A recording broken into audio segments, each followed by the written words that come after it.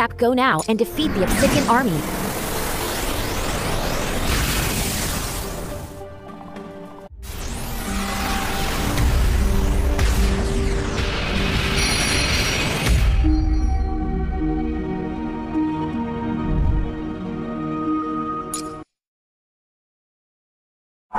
Drag to move your character.